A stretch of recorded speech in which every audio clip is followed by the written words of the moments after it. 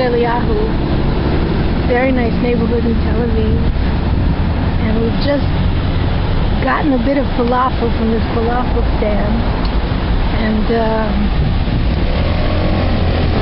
I will give Merlin some, but ow, I need to watch my fingers. It's a pretty area. Um, you can see the pedestrian mall. Can also see the traffic. And that is the uh, big Nokia Stadium. I may have to do a voiceover. I don't know if you can hear me. And uh, the surrounding area. But it's very peaceful even though it's very busy. That's one of the highlights of Tel Aviv. Right, Merlin? Merlin, you want some water?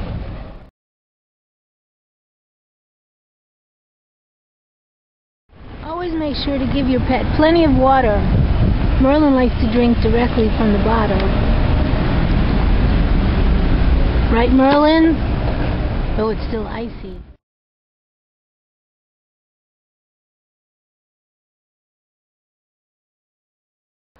This is the street Yigal Allon in Yad Eliyahu, a main street. And here's a better look at the Nokia Stadium.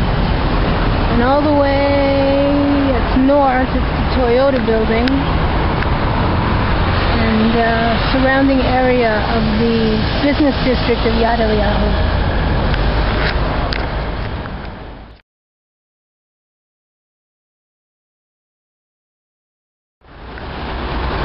Here's another view.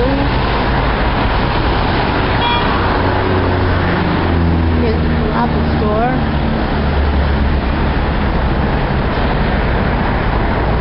And the sun is very bright.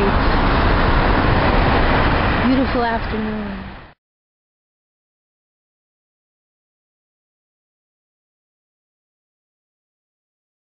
Here's the big square, open area of the Nokia Stadium and uh, the surrounding uh, residential area.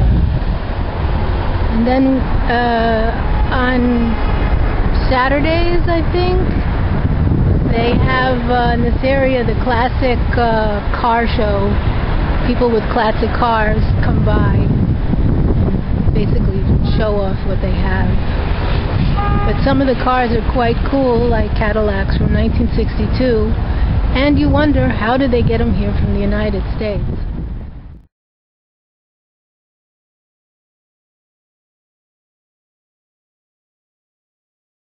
Here's a very important store, the Zebra store.